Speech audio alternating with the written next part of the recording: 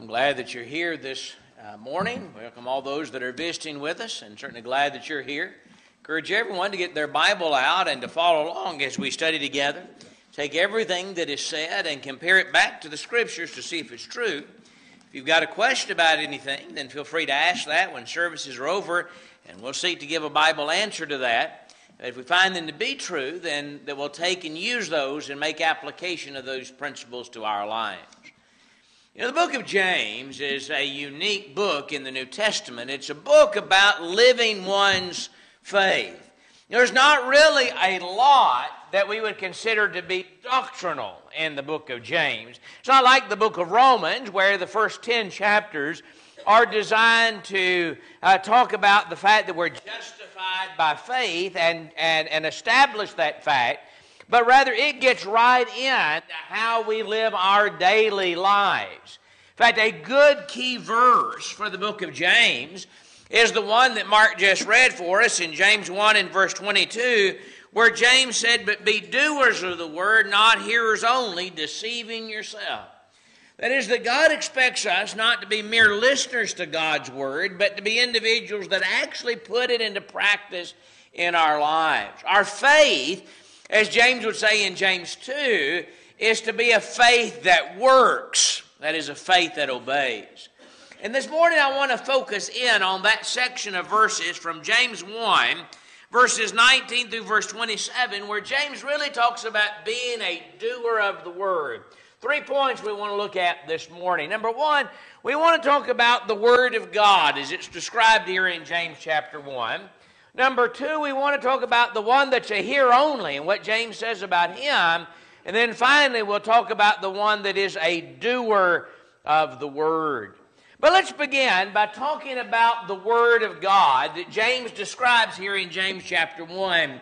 James, in describing the Word of God, said that he whoever looks into the perfect law of liberty and continues in it, that phrase tells me a number of things about the Word of God that's important for you and I to understand. Number one, it tells me that God's Word is a law. You know, there are many people that sort of don't like the idea of thinking of God's Word as a law. In fact, they misunderstood, I believe, some of the passages that are found in the Word of God, like Romans 6 in verse 14 where the Bible said, Sin shall not have dominion over you, for you are not under law, but under grace. And they take that to mean that we're not under a law of, of, of any kind. And that's not what Paul's saying in Romans chapter 6. I take Paul to be saying we're not under a law system that requires perfect obedience in order to be justified, but whether we're under a system where God has extended grace unto mankind. But that passage does not mean that we're not under a law of any kind. In fact, this isn't the only Bible passage that describes the New Testament as being a law. You have a passage in the book of Galatians, chapter 6, and in verse 2, where the Apostle Paul said, Brethren, if any man is overtaken in a trespass, you that are spiritual, restore such a one in the spirit of gentleness, considering yourself, lest you also be tempted. Bear one another's burdens and so fulfill the law of Christ. And so the Bible speaks of this law of Christ. Not only in Galatians chapter 6 and Romans chapter 8 and verse 2, the Bible tells us that there is therefore no condemnation to those that are in Christ Jesus, who walk not according, he said, to the law of the flesh, but according to the law of the Spirit of life that is in Christ Jesus. And so there's a law of spirit of life that is found in Christ Jesus. There is what Paul would call in Romans 13 and verse 10 the law of love. And so over and over again, the Bible describes the New Testament as being a law. And I wonder sometimes if people that say, well, we're not under a law of any kind, if they really realize that if there was no law, there would be no sin, and therefore Jesus isn't needed at all. In fact, you know what sin is? We talked about this a couple of weeks ago in the book of First John. Sin is a transgression of the law. You can't break a law, you can't transgress a law unless there is a law. And that's why the Apostle Paul made the point in Romans 4 and verse 15 that when there is no law, there is no sin. By the way, why would somebody not want to refer to God's Word as a law? Because that very definition of the idea of a law suggests something that is binding, something we have to keep, something we have to obey, something that is not optional. And so they don't like to refer to it as a law or think of it in that way because that means then they'd have to keep and follow it. I remember having a discussion one time with a, a relative who was arguing about that, that we're not under law, and I referred to all of these passages that talked about the law of Christ and the perfect law of liberty. And he finally came back and he said, I know what those passages say, but I don't like to think of it as a law. Well, I know why he didn't want to think of it as a law, because then that meant he had to keep it. The Word of God is a law. But not only is it a law, the Bible describes it as the perfect law of liberty. That is, it is a law with which there are no flaws. I don't know about you, but when it comes to the laws of our land, I can find some flaws in some of those laws. They're not perfect because they're given by imperfect men. But when we think about the Word of God, not only is it a law, it is a perfect law. In Psalm 19 and in verse 7, the psalmist said, The law of the Lord is perfect, converting the soul. The testimony of the Lord is sure, making wise the simple. God's law is perfect. It is complete. It is lacking in nothing. There are no flaws in that law. Why is it perfect? Well, it's perfect law, number one, because it is given by a perfect God. That is, these words that we study, oftentimes we'll say, Peter said, or Paul said, or James said. But it's important that while we understand those human authors wrote those books, that in reality they are God's words. In 2 Timothy 3 and 16 said all scripture is given by inspiration of God and is profitable for doctrine, for reproof, for correction, for instruction in righteousness, that the man of God may be complete, thoroughly equipped unto every good work. Really, what that passage tells me is two things. Number one, the Bible is a divine product. This is the Word of God. Paul commended the brethren at Thessalonica in 1 Thessalonians chapter 2 because when he came and preached among them, he said, You received it not as the word of men, but as it is in truth the word of God that also effectively works in you that believe. And so it is a perfect law because it's God's law. It came from a perfect God. And that perfect God gave me everything that I need. Have you ever, maybe those that are in school, may remember you'd go to buy a book and then the teacher might say, well, now you need this supplement too. And so you had to get the supplement. And in other words, this doesn't provide everything you need. You need something else in addition to that. And oftentimes in life, when people are selling us stuff, there's things like that you need this, but then you also need this, and maybe you need to buy this as well. But when we think about the Word of God, here's Paul's point it gives me everything I need. I don't have to go to another source. In fact, it gives me all things that pertain unto life and unto godliness. There's not a single thing that I need to know to serve God, a single instruction that I need to hear that's not contained in the Bible. In fact, going back to that passage in 2 Timothy chapter 3, it thoroughly equips us into every good work. It tells me what uh, I need to know is proper for doctrine, for reproof, for correction, and for instruction in righteousness. As we sum that up, you could probably say it with me. It tells me what is right, it tells me what is not right, it tells me how to get right, and it tells me how to stay right. What else do I need that's not provided in this law of liberty? So when I think about the Word of God, what I'm looking into, he said it's a law. Not only is it a law, it's a perfect law, but not only is it a perfect law, it is a law of liberty. Maybe sometimes the reason people don't like to think about the Word of God as a law is they think of a law somehow as being oppressive, and yet what the uh, brother of our Lord says is it's a law that gives freedom. It is a law of liberty. How is it a law of liberty? Well, sin in bond, uh, puts us in bondage. Whoever commits sin, the Bible says, is a slave of sin. Uh, when we become servants of sin, we are put into slavery and we want to be set free. Well, what offers us that freedom? It is the Word of God. Galatians chapter 5. And in verse 1, the Christians that Paul was writing to at Galatia were contemplating going back to part of the old law. In fact, Paul reminds them there in Galatians chapter 4 or Galatians chapter 5 if you want to take part of the law, you're going to have to take the whole thing. But before he made that point, he said in verse 1 Stand fast, therefore, in the liberty by which Christ has made us free, and do not be entangled again with the yoke of bondage. In other words, Christ offers us freedom. We are free from the law of sin and death, Romans chapter 8 and verse 2. There's no condemnation now to those that are in Christ Jesus. Well, why not? Why is there no, no, no condemnation? For the law of the Spirit of life in Christ Jesus has made us free from what? The law of sin and death. So it's a law, but it is a law that when we follow that law, it offers us liberty. And so, here, that one statement that is made here whoever looks into the perfect law of liberty, it tells me it's a law, it's a perfect law, and it is a law that gives me freedom. But there's something else I learned about God's Word in this particular passage. That is, not only is it a perfect law, that it makes me complete, I also learned from this that it is a word that we are to take and that we are to uh, take it and listen to it because it can save our soul. Look at verse 21.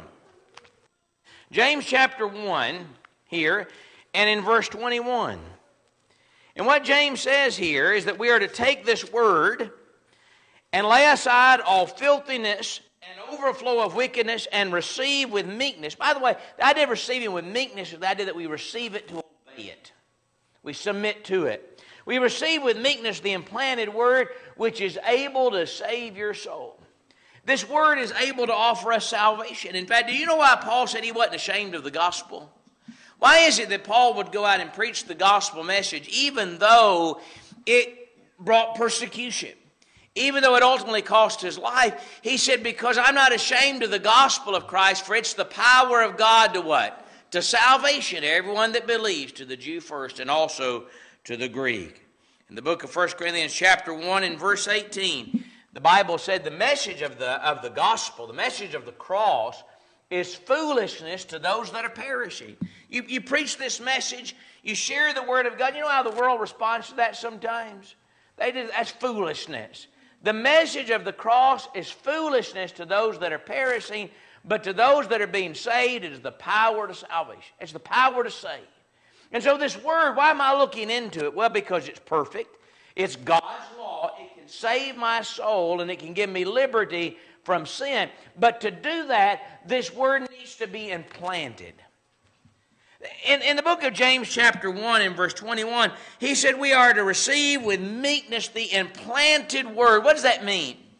It means as powerful as this word is, as much as this word can do for me, it doesn't do any of those things unless I allow it to take root in my heart. That's the point.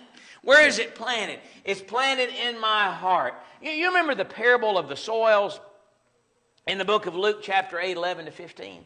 You've got all kinds of, of different soils that are there. Some are rocky ground and the word never penetrates it. Some is, is shallow ground and it, it, and it just barely takes root. And then the sun comes out and it withers away. Some's among the thorns. But you know who the good word is? The good word or the good heart is the one that when that word of God is planted, you know what it does? It takes root in the heart. It's implanted. It becomes part of them. It is that they're keeping that word with all diligence. That word is hid in their heart, as the psalmist said in Psalm 119. And so this word is a powerful word. It's the law of God, but it has to become engrafted into my heart. And one of the points James is making here in James chapter 1 is that if we're not careful, we confuse the hearing of that word for the word actually becoming implanted in our hearts. And so James, after describing this word, he describes the man that is a hearer only. Could that describe you and me? It may describe us sometimes more closely than we really want to admit. But here's a man that James describes him. Look at James 1 in verse 22. He is self deluded. What does that mean? He deceives himself. How does he deceive himself? He confuses hearing the word with doing the word of God. He thinks he's sanctified because he heard the gospel preached. He hears it. He's present at services or he reads the Bible and then he deceives himself and says, Because I was there and I heard Bible class, because I was there and I heard the sermon, or because I read my Bible today, everything is fine. But he's deceiving himself because he doesn't take any of that and put it actually into action. In fact, what he fails to understand is that hearing alone is not enough. Hearing only increases our responsibility. In the book of 2 Peter, chapter 2, and verse 21, the Lord said it would be better for him not to have known the way of righteousness than having known it to turn from the holy commandment uh, delivered to them. He's describing there the individuals that have heard the truth and now they've drifted from it. And he said it'd have been better for him not to have known it. Why? Because now that he knows it and he's rejected it, what do you appeal to him with? His responsibilities only increased. In fact, in, in, in the book of First John, chapter 2, and in verse 4, John said, He who says, I know him and does not keep his commandments is a liar, and the truth is not in him. The one that knows but doesn't do and yet says, I'm okay, John said he's a liar. That's what James said. He is self, he is self-deceived. need something else about this here only that is described here in James chapter 1 that may hit close to home, and that is he is a religious man. We're not talking in James chapter 1 about people in the world that are living immoral lives. James seems to be very squarely talking about people in the body of Christ, and he describes him down in verse 26 If anyone among you thinks he's religious and does not bridle his own tongue but deceives his own heart, this one's religion is useless. Guy Woods defined this word religious as piety that manifests itself outwardly. It's external devotion. Now, here's a person that on the outside sometimes appears to be religious. He's the person that is at every service, maybe many times. He's the person that is present during the gospel meetings and hears the word of God preached. And yet, he's described here as an individual that does not actually put that word of God into practice and so it doesn't do him any good at all. I think about the, the Pharisees of Matthew chapter 23 who pay tithes of anise and mint and cumin. If you looked at them, they appeared very religious as they sat down and they counted out a tenth of their anise and their mint and their cumin and all those spices, and yet they neglected the weightier matters of the law and in fact, the Lord describes them later on as they appeared to be righteous outwardly, but inwardly they were like that grave that's full of dead men's bones. The hearer only, what he, he's self deceived. That means he feels very comfortable with where he is. If you ask him, How are you in your standing before God? He's very comfortable with where he is. He's a religious man that goes through the outward actions, but that is the extent of it. Not only does he go through the outward actions, he is a forgetful man. He has a memory problem. He looks into the perfect law of liberty, the Bible says here in James chapter 1, but he immediately forgets what he saw. Look at verse 24. He observes himself and goes away and immediately forgets what kind of man he was. Here's a man that has a memory problem. He hears, but there's no application of the message. You know, this morning, if somebody came in and their hair was all messed up and tie was crooked and you know their face was dirty, and you ask them about it, you say, you know what? I looked in the mirror and I saw that and I forgot all about it. We might be concerned about that individual. We might think, well, they need to, they've got a memory problem, that they would look and see and then turn around and forget what they saw and come out looking that way. And you know what James's point is? That's how people oftentimes do the Word of God. I mean, for example, let's just talk about our Bible class this morning. We might talk about the home. And we can talk about the home. Here's what the forgetful hearer does. He answers his Bible class lessons. He, he, he asks, he may even make a comment in class about how the husband ought to treat the wife. And yet, then when the doors are opened and amen is said, he gets up and he leaves and he forgets all about what has been said. And it doesn't have any impact on how he treats his wife on Monday through Saturday. Doesn't affect what kind of uh, what kind of parent he is on Monday through Saturday. He is somebody that is forgetful. He never takes that word and he never puts it into practice in his life. Matthew chapter 21, you may remember. In Matthew chapter 21, and in verses 28 through verse 32, do you remember the, the parable of the two sons? You have the two sons that the father called. He said, I want you to go work in my vineyard. And one of them said, I go. He's the guy that would shout, Amen. He he's the one that would give the right answer. And then, you know what he did? He didn't go. He's a hearer only, he's not a doer. On the other hand, you have a man here that was the, the first son, or the, the, the other son that said, I will not. And the Bible said later he regretted it or he repented and he went. He underwent the change. That my boy, all, all the negative things that may have been said about how he first answered, he became ultimately a doer of the word. In fact, the doer of the word is one that is forgetful. I don't have this passage on the chart, but you know, one of the first songs we, we teach our young kids in Bible class, we sing in, in vacation Bible school, is about the wise man that built his house on the rock. Do you know who the wise man is? Versus the foolish man. The foolish man, Jesus said, is whoever hears these sayings of mine and what? Does not do them. It makes us a fool. It makes us a fool to hear and then not do. Here's a quote from C. Jerdan in the pulpit commentary, and I think he, he probably says it well. When he says, Some, when the service is over, seldom think of anything but going home. Others will pass a remark about the sermon and then dismiss the subject finally from their thoughts.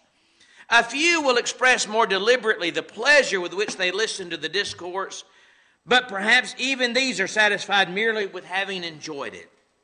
The purpose of preaching, however, is not that people may be very much pleased, but that they may be profited, edified, and inspired to live an upright, generous, godly life.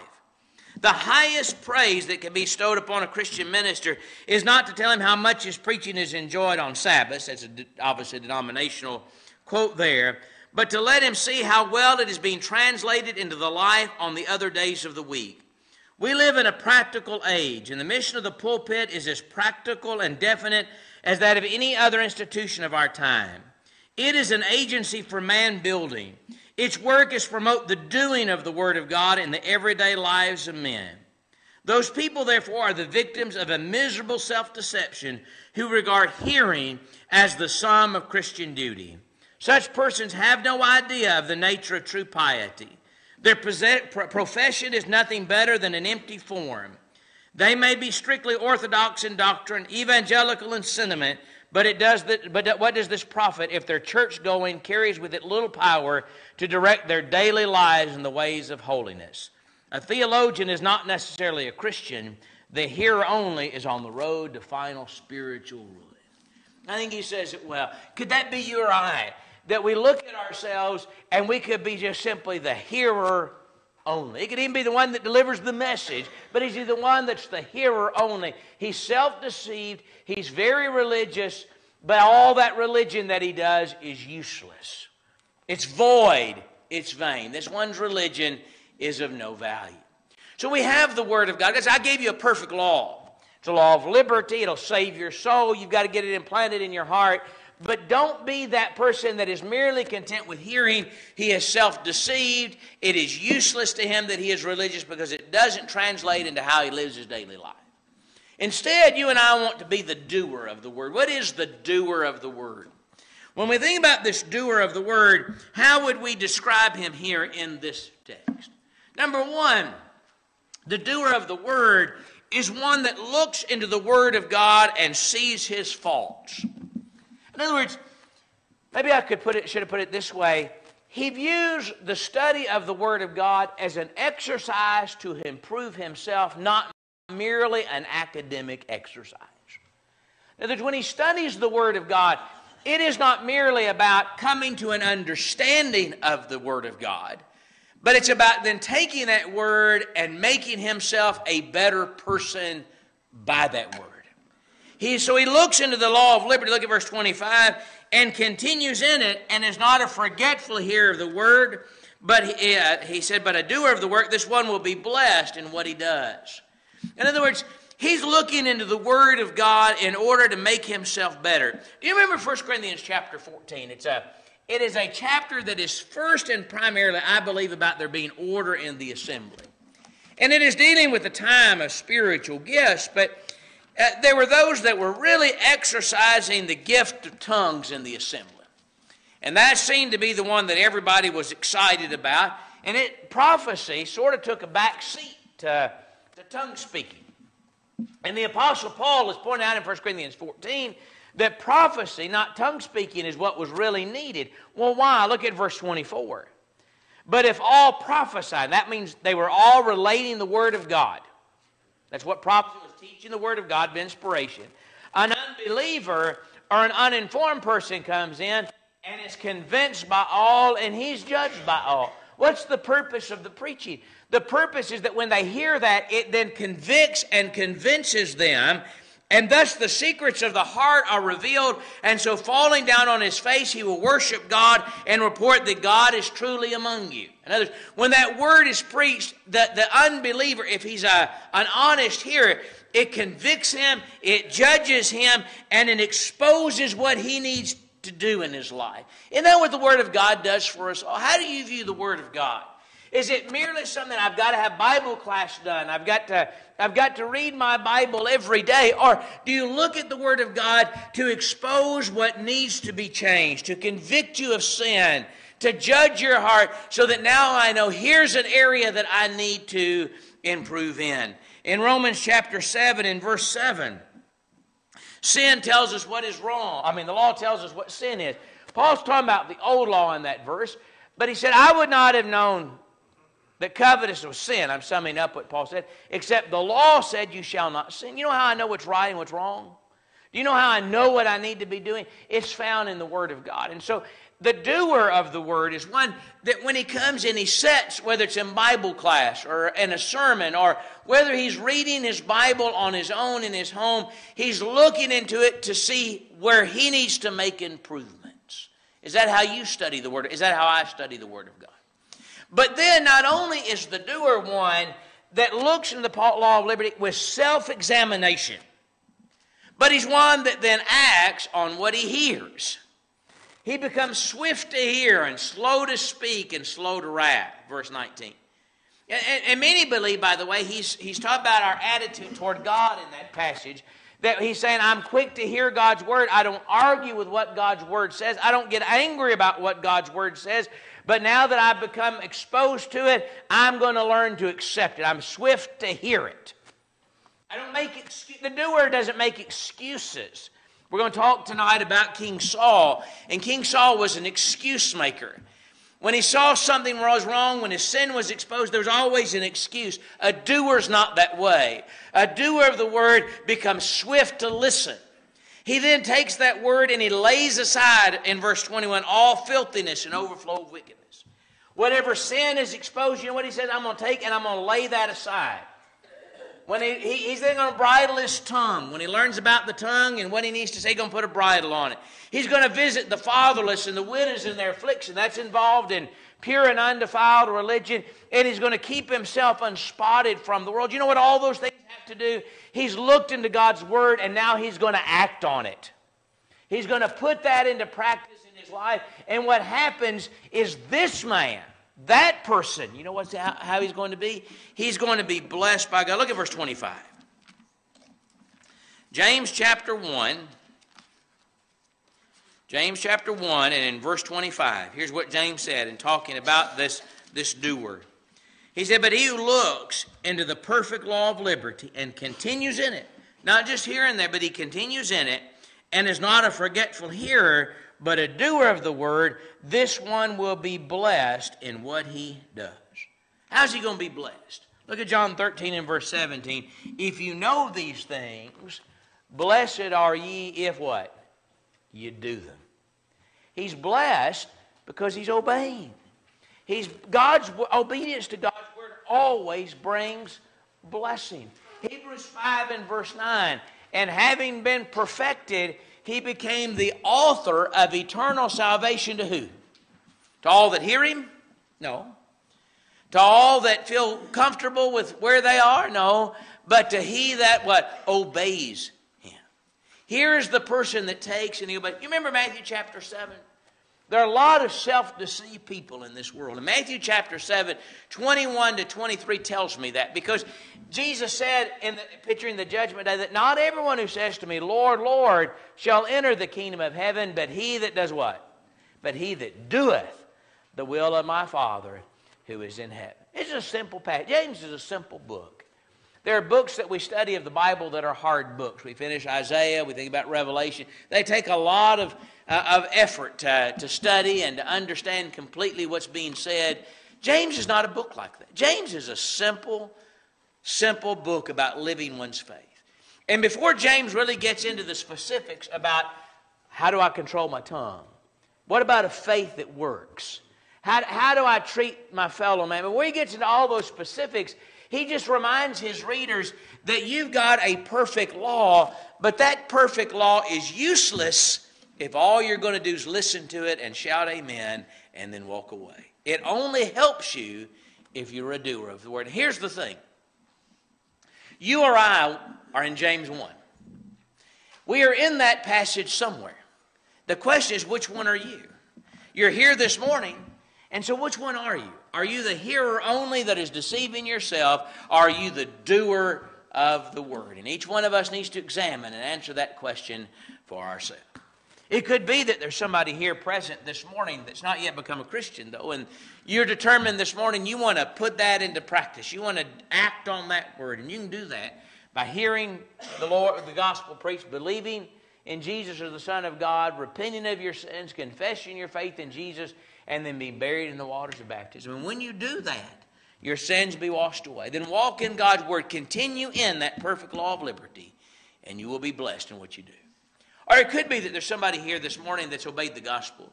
But now, when you open up the, the perfect law of liberty and you look into it, you realize there are mistakes that you've made. There's things you've done you shouldn't do, maybe things that you should have done that you haven't done. If that's something that requires a public acknowledgement, we'll assist you in doing that. If it's between you and the Lord, then you can ask Him to forgive you. And then you can determine from now on, I want to seek to be a doer of the Word. No matter what your need is, if you have anything that needs to be corrected this morning, why not do it right now? As together we stand and we sing.